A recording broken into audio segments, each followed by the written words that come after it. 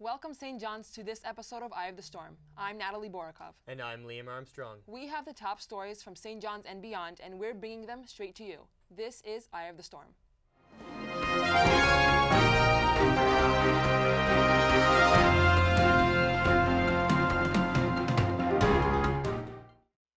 Beginning with the top event in current politics, with both governor and midterm elections coming up on Tuesday, November 6th, New Yorkers are blatantly demonstrating their views in the polls.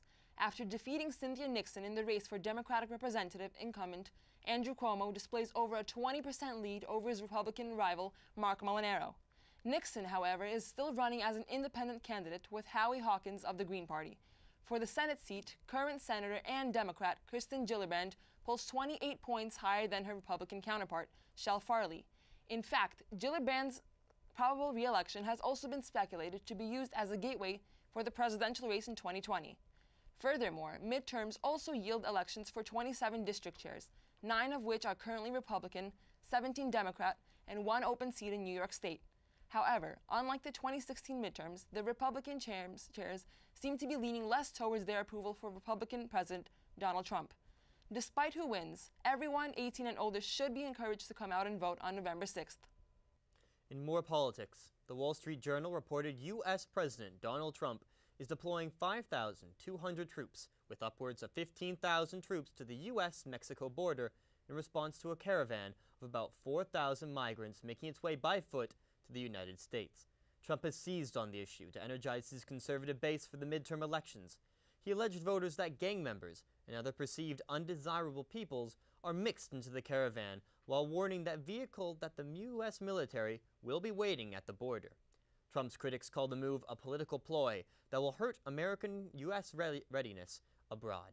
Combined with the 2,000 National Guard troops already at the border, this deployment exceeds the combined military presence in both Syria and Iraq from the United States. Officials have stated that the troops being deployed are not expected to enforce immigration law. St. John's is home to many individuals with different talents and interests. This week, we are featuring one of those wonderful students in a student spotlight. Let's meet Amber Reese. Hey guys, it's your girl here, Alana Loren Bethia, and I'm here with Amber Reese for WRED TV Student Spotlight. All right. Um, how is it like to be an RA on campus? Uh, being an RA is I would best describe it as a fruitful challenge. Um, it's definitely a really challenging job. Um, a lot of things come up that you just have to respond to in the moment. Um, but at the same time, uh, actually having care for residents and wanting to make their, well, for me, I'm in the freshman dorm this year, um, trying to make their experience a great one their first year on campus mm-hmm. is really why I do what I do. Um, so that makes all the challenges work. So you're also the president of Spectrum. So can you tell us about Spectrum and can you also elaborate? elaborate about what your guys' organization's goal is. So I'm actually no longer the president of Spectrum. Fun oh. fact. Um, a lot of people don't actually know that because I kind of just stepped down incognito um, at the beginning. I can speak on my experience last year being president. Um, I really appreciated the opportunity to be able to like be that. Um, being a queer woman of color is something that's a very uh, I think nuanced experience for each individual, but for me, um, it just means being authentically myself at all mm-hmm. times. So being able to be the president of that organization, I, I like the um, the direction that we're taking this year. Um, we have a lot of cool stuff that we want to bring into fruition, a lot of new ideas. Um, but basically, we're just here to service the um, LGBTQ community or GSM, gender sexual minority, if you will. Well, there you have it, guys. Thank you, Amber, for being here with me. And make sure that you check out Spectrum on campus.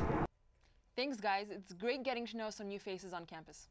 In more news, in a horrific anti Semitic fueled tragedy on Saturday, October 27th, a mass shooting took place at Pittsburgh, Pennsylvania, Tree of Life Synagogue, taking the lives of 11 members inside.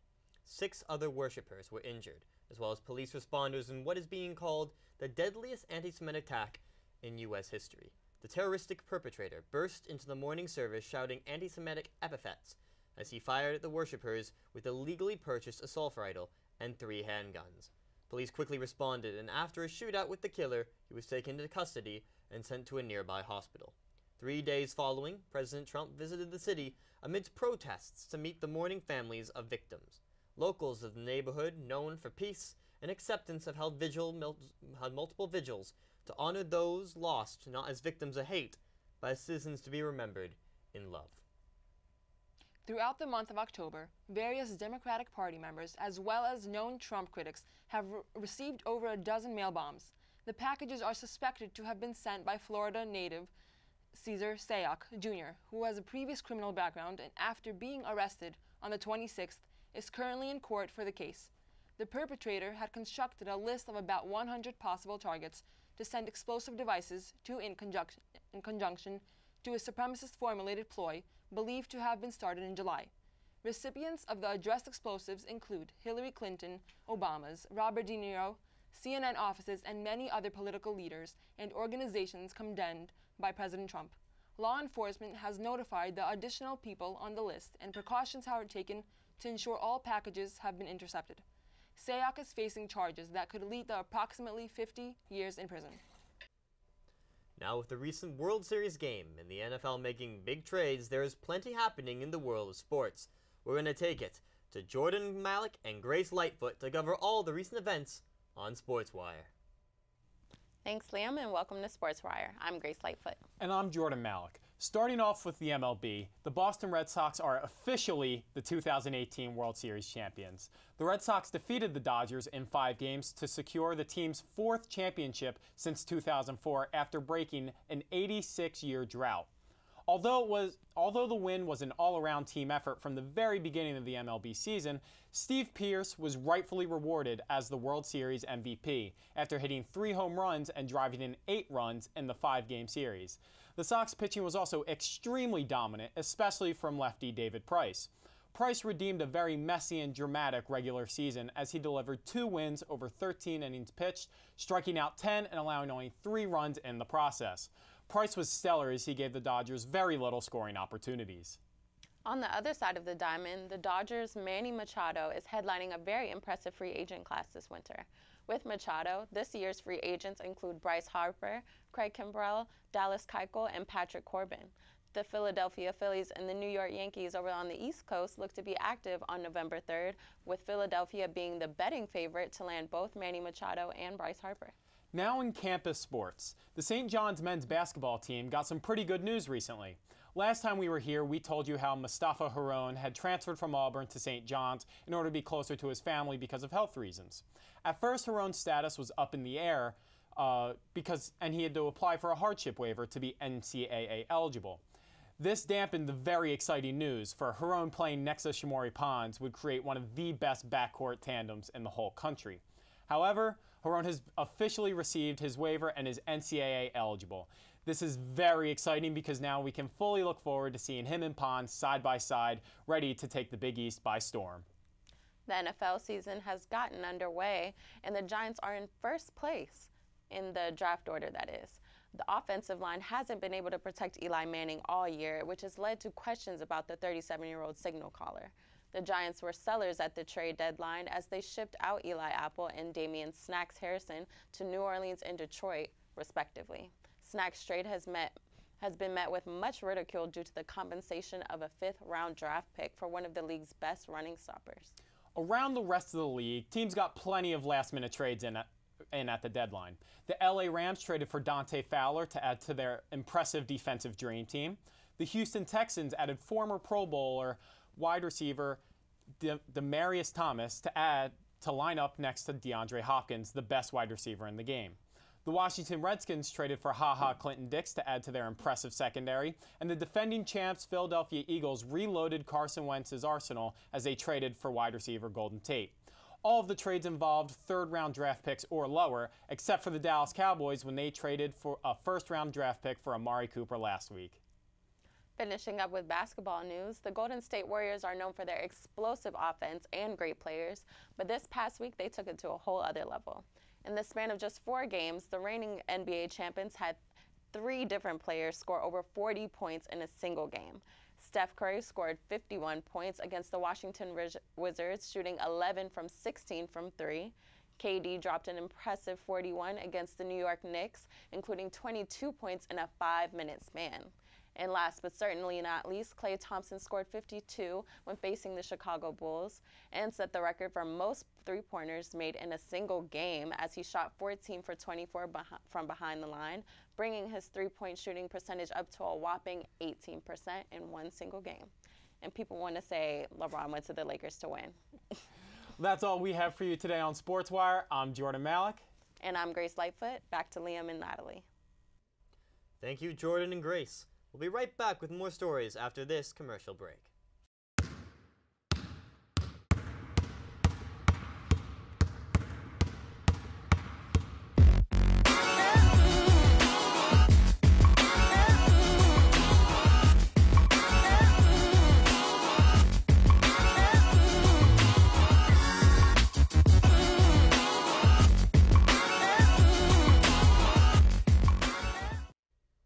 Welcome back. Last week at McDonald's Birmingham, Alabama, an active shooter was stopped by an armed local who was leaving the restaurant with his two sons when he heard gunshots. The father quickly re entered the McDonald's and, in an act to protect those inside, fired at the masked shooter. Luckily, no one was seriously injured, with the exception of the masked shooter, who later died in hospital. Police are still unsure whether the masked man was attempting to rob the restaurant or to shoot someone inside. McDonald's employee, Marcus Washington, who was working just before closing, called the unnamed father a hero. He continued that the event could have resulted much worse had the man not intervened on behalf of the customers inside.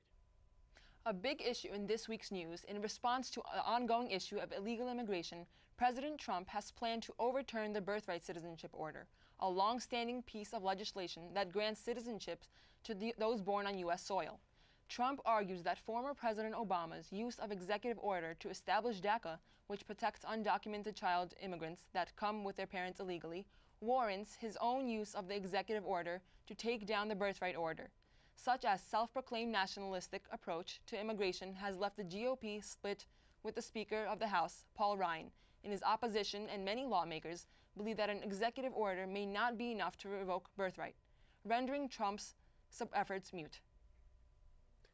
Now, in a break from serious topics, we take it to Delia Hernandez, who is attending a haunted house being held on campus earlier this week. Let's check it out.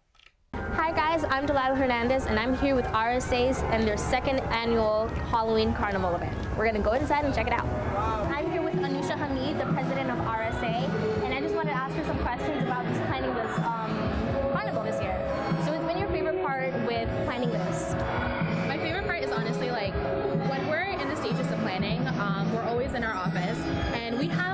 like weekly meetings trying to plan it, but the best part is when we're just sitting there and everyone, like 10 people throwing out ideas. People like, what about this? What about that? What about that? And like my favorite part is just actually like taking those ideas and be like, we can implement it in this, do it in this, and that's just like my, my favorite What's part. been your favorite memory while you're actually in the carnival?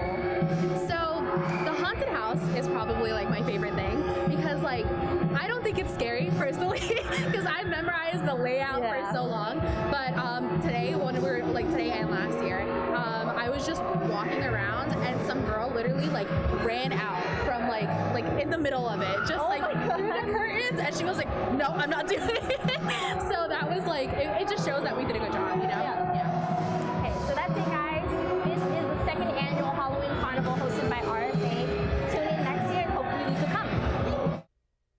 Thank you, Delilah. That certainly looked like a great way to get into the Halloween spirit. We take it over to entertainment now. What's happening, guys? Hey guys, welcome back to Entertainment Now. I'm Kyla Allen. And I'm Christian Santiago. We're very excited to bring you all the best drama on this week's trending topics. First off, Kanye West released a statement this past Tuesday declaring his separation from politics. West says he has been used by people to spread political agenda. He fired off a series of tweets saying things such as, quote, my eyes are now wide open. I've been used to spread messages I don't believe in, end quote.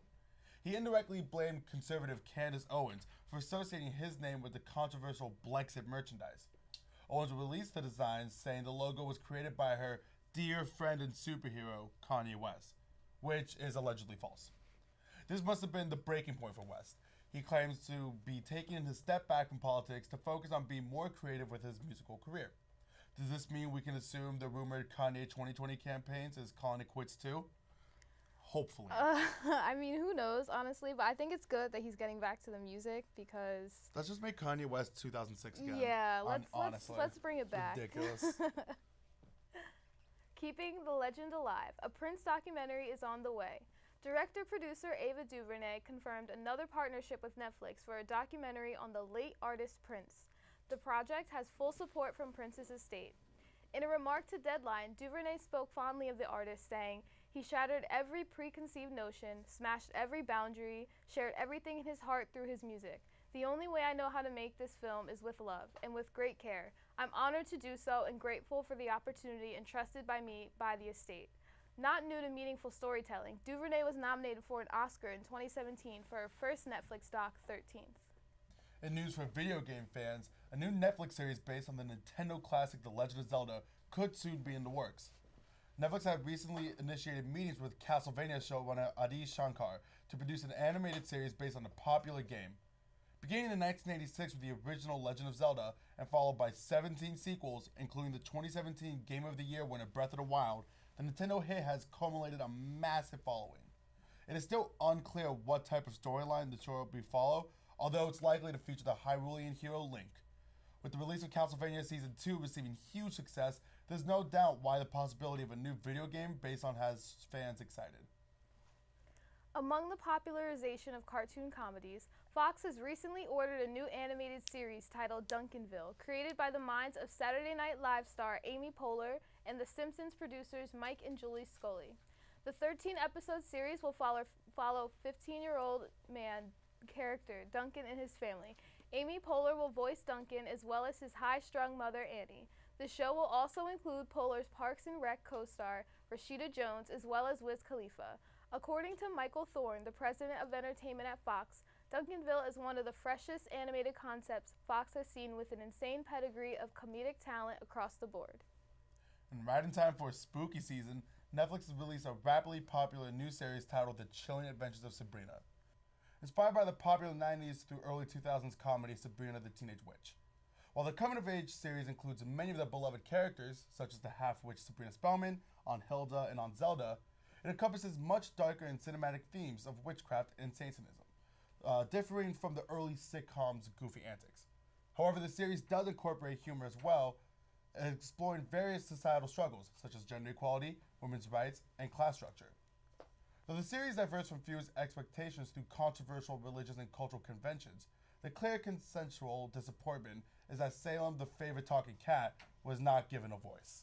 Sounds like a great show to me. It's fantastic. It's very, very good. Very dark. Jughead Jones and Archie Andrews are back in Riverdale for season three.